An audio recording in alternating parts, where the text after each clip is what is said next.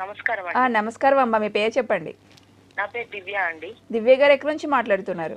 నేను హైదరాబాద్ అండి బాలనగర్ నుంచి ఫోన్ చేస్తున్నాను. బాలనగర్ నుంచి. సరేనమ్మా ఎవరి గురించి తెలుసుకోవాలి? నా గురించి అండి సంతానం గురించి తెలుసుకుందామని ఫోన్ చేశానండి. ఆహా సరేనమ్మా. చెప్పండి మీ డేట్ ఆఫ్ బర్త్ చెప్పండి. ఇది డిసెంబర్ నాలుగు పన్నెండు నెల అండి. పంతొమ్మిది పంతొమ్మిది నైన్టీన్ నైన్టీ సిక్స్ సిక్స్ పంతొమ్మిది వందల తొంభై ఆరు. అవునండి. డిసెంబర్ డిసెంబర్ డిసెంబర్ నెల డిసెంబర్ డేట్ చెప్పమ్మా. డిసెంబర్ ఎందుకు నాలుగో తారీఖు అండి డిసెంబర్ నాలుగు.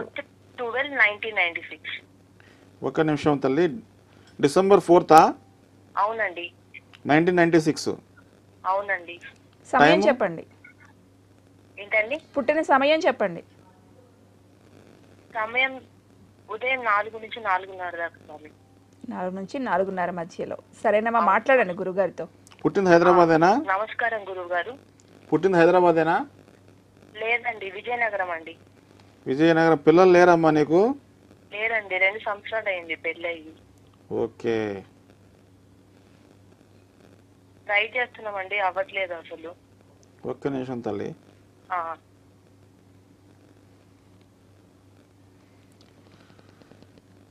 అమ్మా నువ్వు సింహరాశి తులాలగ్నంలో పుట్టావు తల్లి. అయితే నువ్వు అప్పుడు పూర్వ అంటే నీ లగ్నానికి నీ స- నీ అక్ష నీ లగ్నానికి సంతాన యోగం ఉంది తల్లి కంగారేం పడకు.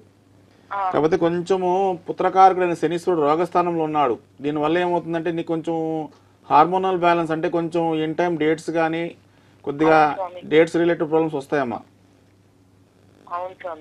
అయితే ప్రస్తుతం నీకు ప్రస్తుతం రాహుమాదశ నడుస్తుందమ్మా.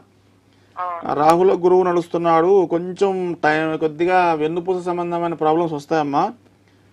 కాకపోతే కొంచెం జాప్యం జాప్యం అయితే ఉంది తల్లి.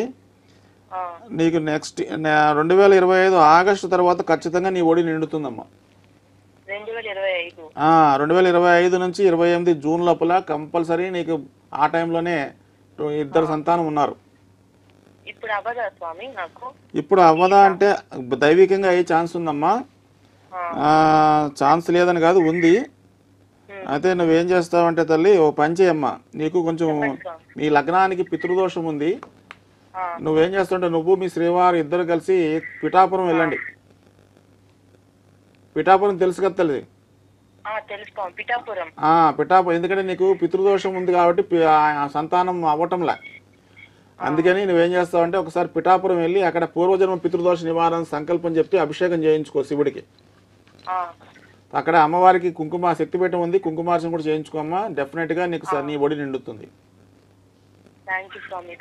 రైట్ అమ్మా రైట్ ఉందమ్మా. నేను చెప్పిన టైం అయితే